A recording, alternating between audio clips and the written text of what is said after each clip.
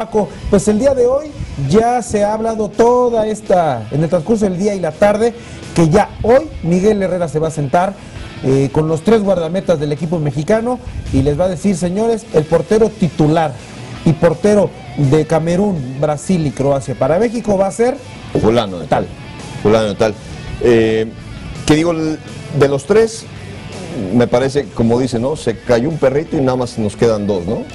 Yo creo que la, la competencia, entre comillas, es entre Guillermo Ochoa y José Jesús Corona. Talavera, desde un principio me imagino que él sabía que iba como tercer portero y así todos lo, lo estipulan. A menos de que vaya a salir con una sorpresa, porque acuérdate, el mundial anterior, ¿quién pensaba que el conejo iba a ser el titular, no? Pregúntale a Guillermo Ochoa. Pregúntale a Guillermo Ochoa, que quedó súper molesto sobre esa situación. Eh, ¿Tienes algún favorito de corazón o con un análisis objetivo de alguno de los porteros? Pues mira, yo creo que llevo en este caso una cosa con la otra y me quedo con José de Jesús Corona.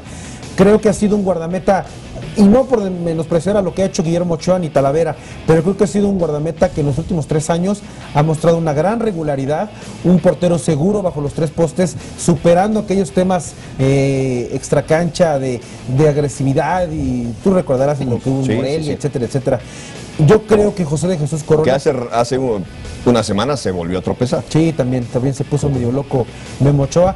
Y creo, No, no, no. eh, perdón, José José de Jesús Corona, creo que en base a la regularidad mostrada con José Manuel de la Torre y, y luego con todos los técnicos que lo mantuvieron confiando o confiándole los tres postes por lo que ha mostrado en la seguridad que ha mostrado y además liderazgo, creo que va a ser José de Jesús Corona. Aunque si, si de repente aparece el viernes Guillermo Ochoa, al contrario, qué bueno, qué bueno porque también es un gran guardameta. Fíjate, Gerardo, este, amigos de Adrenalina, a mí se me ocurre que a quien pongan de titular va a ser justo, va a ser justicia para cualquiera de los dos. Sí. Y a quien no pongan va a ser injusto. Paradójicamente, increíble. O sea, usted podrá estar diciendo, ¿qué, qué- qué es lo que está diciendo el Matu? A, a- a mí sí me parece. Digo, porque los dos están en muy buen nivel. Ahora, en mi análisis objetivo, porque me dejo ir más que por el corazón en esta situación, a mí me parece que el, el titular debería ser Guillermo Ochoa. Eh, y, más allá de, lo que yo pueda creer para dónde se está perfilando eh, eh, Miguel Herrera.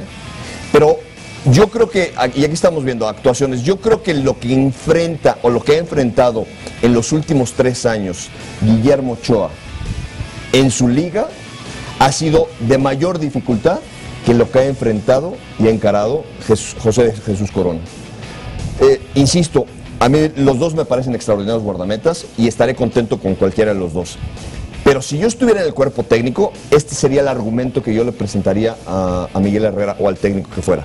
Porque seguramente es que lo va a hablar o, o se ha sentado con su cuerpo técnico y decir, ¿a quién ponemos? ¿Por qué razones? ¿Cuáles son las razones? Dentro del paquete, como portero, los dos presentan deficiencias. Sí, tienes Los dos presentan grandes cualidades. Ajá. Digo, digo los dos porque ya estamos haciendo un lado a Talavera. Talavera. Pero insisto, lo que ha encarado Guillermo Ochoa para resolver problemas de su equipo han sido muchísimo más grandes y más graves que lo que ha hecho Corona. Pero, porque porque o sea, Corona tiene una mejor escuadra y una mejor defensiva. Pero te refieres entonces al tema también de las figuras con las que enfrenta Guillermo Ochoa. Eso y a lo que tú solo, sin tener una buena O sea, defensiva, cargas, cargas con el equipo, ha cargado más con Sí. el equipo y la responsabilidad yo, de Memo yo creo, sí. Por eso le daría la titularidad. Fíjate que es un tema complicado, pero a final de cuentas, si yo lo veo así, Miguel Herrera se tardó dos partidos en decidirlo. Yo creo Más, que contra Bosnia Meses. y con part- bueno, tal El vez portero meses, ya debería de estar desde hace jugado. muchísimo tiempo, ¿no? A pesar de la dificultad que va a representar dejar a uno o a dos, en este caso, en la banca, se tardó Miguel Herrera ya en decidir. ¿Cómo va a ser el tema? Pues ya le, informará, pero todavía no se va a da- eh, dar a conocer, salvo que, que por ahí hay un escape de información, pero el tema de, de- de darlo a conocer va a ser hasta el día jueves, cuando Miguel Herrera anuncie, por supuesto, el 11 titular y ahí conoceremos quién va a ser el portero de la selección mexicana.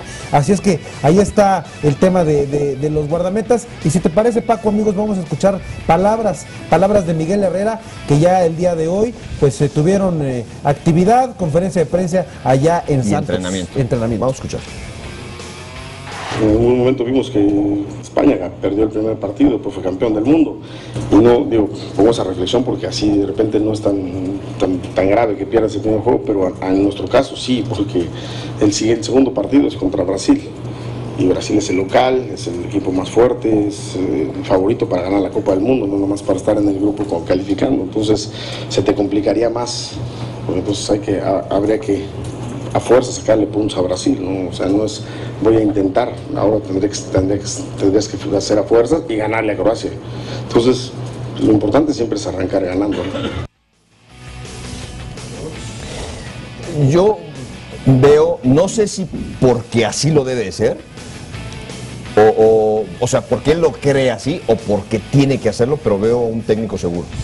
O sea, echado para adelante, ya sabemos cómo es Miguel Herrera, pero, pero yo me gustaría ver qué es lo que realmente está pensando, si está preocupado o no, o sea, digo, simplemente con no tener bien definido quiénes son, cuál es su guardameta, yo le veo muchas dudas y no lo veo seguro para hacer un buen papel en este mundial. Sí, a final de cuentas, pues se genera, ah, porque así lo deja saber Miguel Herrera, en el momento en que en los últimos tres partidos tienes una alineación en cada partido distinta, no, te, de entrada no te da seguridad, pero he escuchado a varios eh, exjugadores, en, el caso que, que platicamos con Nacho Ambriz, técnico de Querétaro, y con Luis Flores, ambos exmundialistas y, de, buena participación los dos, eh, Nacho Ambriz, y decían que Miguel Herrera ya, ya, sabe quién va a jugar el, viernes, sin duda alguna. Y lo que ahora está haciendo simplemente es dar pues oportunidad a los demás para mostrarse, pero que Miguel Herrera ya sabe perfectamente. Yo no sé qué sería peor entonces, Gerardo saber quiénes son tus jugadores, no ponerlos a practicar, o no saber y estar dándole vueltas a la selección. Yo no sé si va por el tema de, buscar protegerlos, cuidarlos, que es difícil, ¿no? Pues se, ve difícil. Pues yo le veo una gran inseguridad a las declaraciones de Miguel Herrera. El que sí estuvo seguro de lo que decía y, y no le preocupaba era el Chicharo Hernández, que habló sobre la situación que habíamos platicado sobre la selección de Camerún. Adrenalina Entérate de lo último acontecido en los deportes. Te invitamos a ver los siguientes videos en Adrenalina.